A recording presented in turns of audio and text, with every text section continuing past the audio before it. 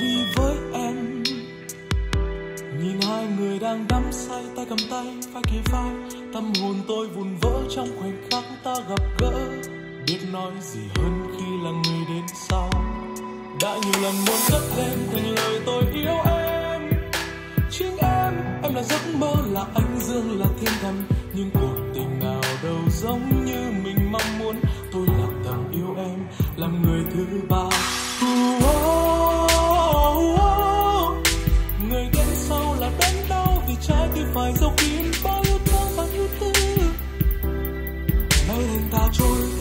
theo đơn côi.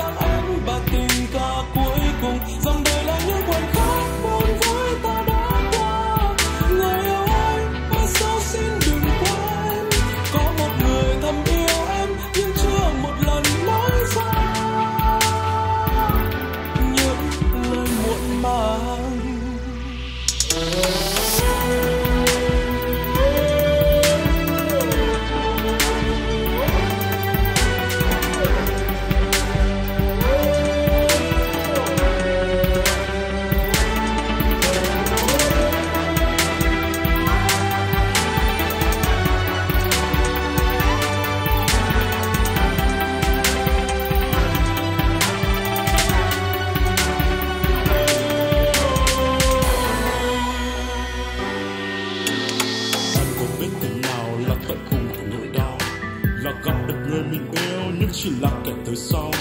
Chỉ biết âm thầm lặng lẽ trong thâm tâm thầm nguyện chúc. Em và người mà em yêu sẽ luôn luôn được hạnh phúc. Làm nụ cười được trước mặt em nhưng dần vặt tâm tư. Là có trăm điều muốn nói nhưng môi chỉ được ấp ừ Thả mình vào những bài nhạc vài là khói nhấp môi.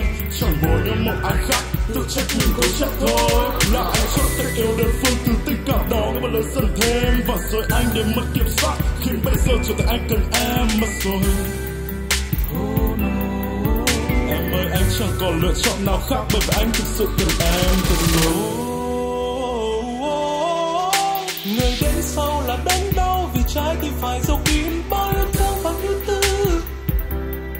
Nay đành ta trôi theo dòng đời đơn côi.